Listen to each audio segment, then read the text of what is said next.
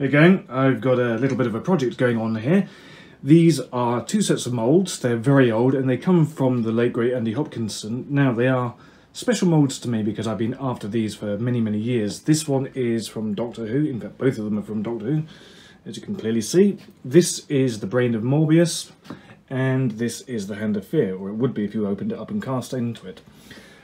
Problem is, these two moulds are absolutely ancient and they are, well, showing their age. They're starting to tear and degrade a bit. Now they are silicon moulds with a fiberglass jacket and what I need to do is repair them. So that's what today's video is going to be all about. It's a process video.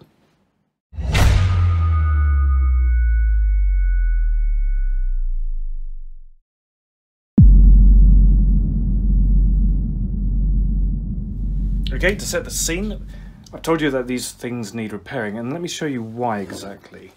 Let's show it to you with this hand mould. So as you can see, this is essentially how the mould works. You, they are actually designed for fiberglass. I'm going to be casting resin into it. So what you would do is you would lay up one side and then you would lay up the other side, lay up the top, stick it all together, clamp it, and then in about an hour or so you would have a lovely cast. The way I'm doing it is I'm actually using pourable resins to put in there and I'm doing pretty much the same thing. I pour it in, once it's like this, pour it into there, shove the top on and slosh it all around. Now the problem with that, and even with the fiberglassing, is that this mould is starting to tear. There's a huge chunk missing from here which I need to sort out. And then you've got a section here. Now it doesn't look too bad until you do that. Now again that doesn't look too bad either, but there is a huge cavity running all the way down inside here and that does cause issues further down the line. But also because this is moving out of the way that causes registration issues. Now when I did do a casting before and here is a casting from about a year ago this was a rough casting I did when it was really cold so it took ages. It took 45 minutes for this resin to cure when it really should have taken about 10 but because of the lack of registration and that hole you ended up with this hole. Now, when I was pouring the resin into those molds, a lot of it disappeared and I couldn't work out where. And, and then when I opened up the mold, there was this, well, this cavity here, this hole here.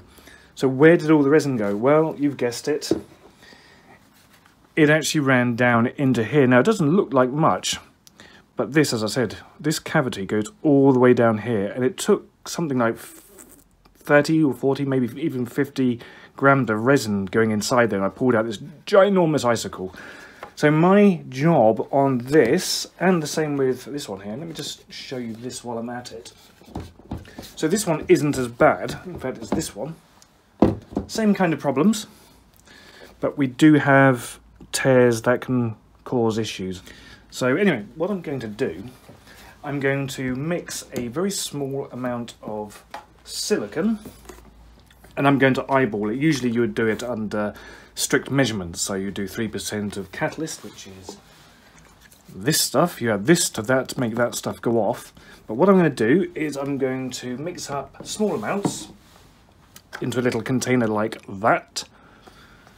And I'm going to use it as glue. Now, I have done a test. You probably saw it earlier, but there's some, well, there's some pink stuff here. That is actually my silicon, my new silicon on this ancient silicon. And I did this purely to test whether this is compatible with that. It's set, so I know it is. And I did the same on this mold, just to be on the safe side. I've got a little test there. That's cured as well. So that puts me in good stead for this project. That means I can use the new modern silicon to glue the ancient silicon back together. So I can't really express how tedious this is going to be, and, and, to be honest, filming is going to be a bit of a problem. So what I think I'm going to do is a suggestion by my mate Dan, who uh, kindly provided me with these molds, um, when was it, last year. He said, why don't you just time-lapse it? So, yeah, okay, we'll time-lapse it. But that's what I'm going to do. I'm going to patch these up, hope to God that it actually works, and then once I've done that, I'll do a, a test pull. I'm not going to do any finished pieces for this because it's not really worth it. I mean, like I said, this is a test pull from last year. It was literally just to see if the mould is working. I did a quick rough and ready um, paint test on it, uh, effect for the top to give it that sort of quartzy look. So this is I mean, this is not a finished piece, it's not perfect or anything, it is literally just a test. How does the mould work? Where are the problems going to be? And how good has the mould survived after all these years? And given the fact that I've got a hand out of it, pretty well, but it does need a bit of um, sorting out. So that's what I'm going to do.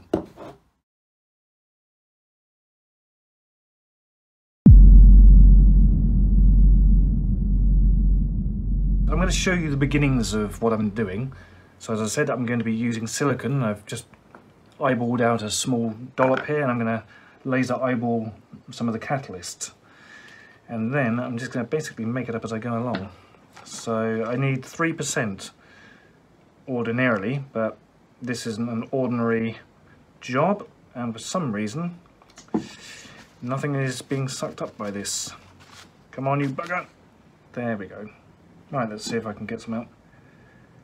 Ah, oh, typical. Okay, let's go and get another one. Right, you contrarian. That is way more than I need. So, 3%, but I'm, I'm not going to do 3%, I'm going to do way more. I'm going to overcook it. I'm going to put about, that's probably closer to 10%. Let's put that there.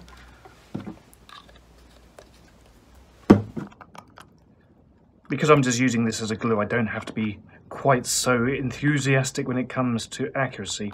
Just so long as this stuff goes off, that's all that really matters. So you can you can see it's already over catalyzed because it's way too pink. It's, it's going almost into to mauve there. Now I am going to try something. I'm going to see if I can suck some of this up into the syringe and inject it into the cavity. So well, that's clearly not going to happen. Oh no, I suppose I could pour it, actually, yeah. Why don't I try pouring some of this in? Because it's taking too long? Yeah, that's enough.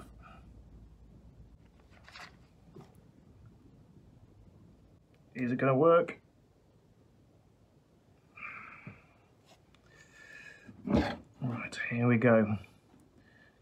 Gently does it.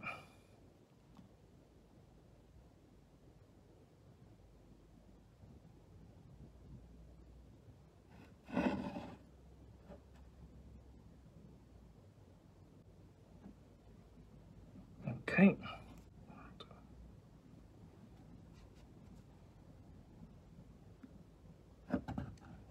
Now where those spillages are, that's not so much of an issue. So silicon on silicon is very, very sticky. However, I've got some IPA here, and IPA works beautifully at cleaning up silicon. So what I'm going to do is just wipe that out and wipe it off the inside there.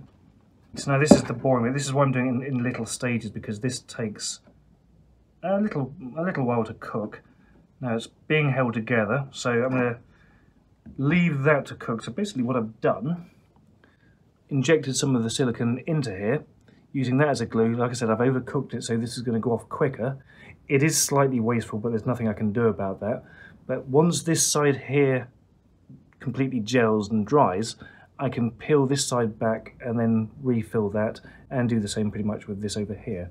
Actually, I suppose I could try I suppose I could try to fill the other side while I'm waiting. Let's have a look. Didn't think I would do this on camera, but mm, is it a, risk worth taking? No, actually no, I'm not. I'm, I'm going to leave this to set and then carry on. Okay, it's been about an hour since I applied this, and I've come to a little bit of a decision. There's going to be no time lapse because the amount of footage that will take of me doing this because the operation is actually quite quick there'll be virtually no footage so it's just going to be more of this. So sorry Dan no time lapse but anyway guys um guys the silicon glue has taken on this side. It's it's nicely fixed so that's not going anywhere. But we are still open on this side so what I have to do now is to backfill all this and clean my fingernails uh, backfill all of that with silicon and I'll do that again pretty much in the same way as I did before. I'll put it, I'll basically inject it in, squish it in, push all this down, and then I may put a little bit of silicone on top just to act as like a, a top sealer, but we'll see.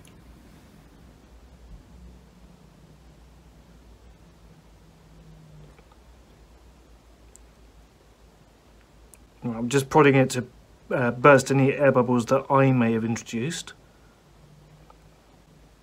But I've got to be a bit more careful on this one.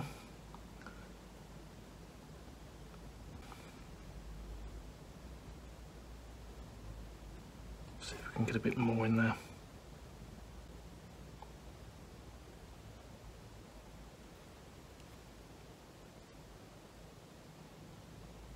Now what I'm hoping to do is seal this side of the crack. I mean this isn't quite so important but if I can leave it open a bit and then just inject some in here in a minute, I say in a minute, shortly, uh, that should fix it. But like I said, this, this part isn't really part of the surface mold, so it doesn't really matter so much. I just need it to join together so that when I come to put this on, the, you know, that bit doesn't move this piece and cause a misregistration. I just need it to hold itself together. So, yep, that's that bit and then I won't show you the next bit because it's going to be more of the same.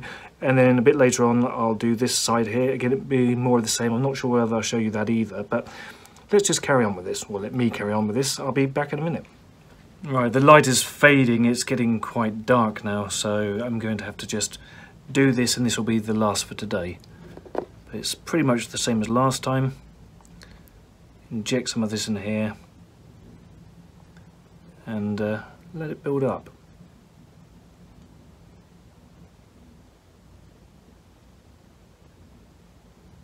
I mean, really what I could have done is added some thickener to this.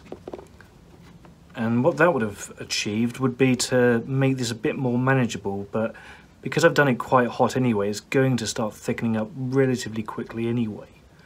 So for now, this should be, uh, it should be workable. I'm right on the on the edge with it, so you know I can always come back and do like a second pass. But just as long as I get this filled, that should be good. Now, of course, I should be prepared, and I'm not. And actually, I'm not sure if I need any to do anything more than that. No, I'm just going to stand here for ages and hold on to this. Yeah, that should be alright. Maybe a little bit more just in there. But I am really pushing my luck now with this. Because I really don't want it to run everywhere.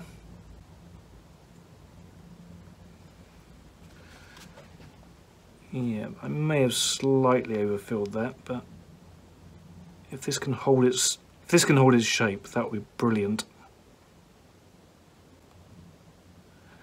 You can see it's already starting to gel, so I'm having to be careful there.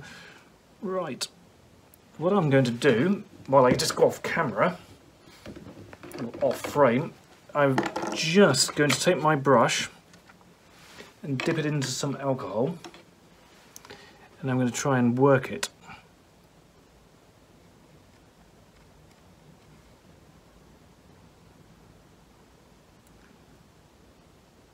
There we go. Don't want it to go into there. But the alcohol enables me to smooth off the silicon. And that should be relatively decent, I think. Yep, okay. It's just a case of uh, waiting for this to cure, and that's it for now. That's the mould more or less finished, so tomorrow I'll come back to it, I'll reassess it. Do I need to put a little bit more on? To be honest, I don't think I really do. And then it's on to the brain mould.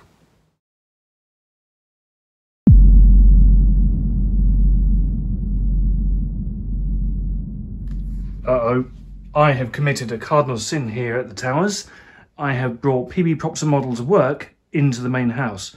However, that said, the moulds have been a raging success. And uh, yeah, I might as well show it to you because I'm very, very pleased. So the reason why we're in the house is because just recently it's gone very, very cold outside. In the conservatory and what they call my workshop where I work, it's down to single digit figures. We're talking about three or four degrees centigrade and I'm just not working in that. None of my silicons or my resins want to cure in that. But anyway, I finished the molds. They've been a raging success, I might add, and I'm really happy. But before we get into all of that, I just want to ask a little bit of a favour from you, dear viewers. If you do watch my videos, it would be really helpful if you could like, comment, you know, come and talk to me and we can talk about whatever you like, and also subscribe. Now, if you do subscribe, don't forget to hit that notification bell so you know when I'm uploading. Of course, I don't stick to any particular regimen, but uh, you will know when I do upload. The other thing, now, it does cost quite a fair old amount of money to run this channel. Things like resins and silicons and glues and one, all the little bits and pieces that help me to make these projects. If you want to help me purchase some of those, YouTube have recently introduced this feature and it's down just below this video. It's called a super thanks. So if you're signed in to Google, you can drop me a couple of quid if you want to. Don't feel pressured, you don't have to, but it's there. And any money would be helpful. I mean, I'm paying for pretty much all of this myself, but if you want to help, you know, help me with the channel, I'd be very, very appreciative. Anyway, enough of the advert. Let's get on with what I've been up to. Molds. So the last time you saw me, I was siliconing up these molds, so silicon on silicon, and that's that's what's happened. There's the the first repair, there's the second repair. Uh, I didn't really need anything on this side or that side. However, I, I want to show you this. This has been amazing. Just what that has done here, the difference it's made is phenomenal. Now, when I originally cast up one of these, I did tell you about this. Let me just grab the other one. So here's the one I did last year, and one of the issues I had was some of the resin was disappearing actually into the silicon, which it no longer does. But also, at this point here where the hole is, not only was it disappearing inside the mould, but because of the cracks and the tears, the mould itself was, was moving out of position. And what that allowed to happen, basically, was all of the resin was either pouring out of this side of the tear or that side. And I have done a cast and that didn't happen, so that's amazing. Now, I'll come to that in a minute. The other piece, is the brain mould. I did do this off camera because, quite frankly, there's not much point showing it to you because it's, well, the, the work that's been done is so small you probably couldn't see me do it, but there's been all sorts of little tears that I've repaired. There's little bits in here. Uh, there's the, the tear that I showed you the other day. That's completely done. There's also little bits and pieces in, inside on the blind side here that I've patched up and stuck back on. In fact, I actually found the remnants of an old insect buried deep within one of the details here. So, yeah, that's been around for at least 30, 40 years. Uh, I did the same on this side. It's just some minor bits and pieces. Again, I can't really show it to you because uh, it's on the blind side, but it's all in sort of here. And I did do a rough casting of that. And I have to tell you, the results, I think, are amazing. Let me just show you. Hold on. So let's start with the hand first. As you know, uh, the, the other hand, it was not particularly brilliant. It was full of air bubbles, but this is the new hand. There is nothing wrong with this. It's got a bit of flashing and all that, but I can quite easily trim all that off and I'll do that later. I'm not going to bother with this. It's, this is just a raw casting. Uh, so as I said, there's there's where the, the tear in the mould was. So material was pouring out of here, not actually coating this.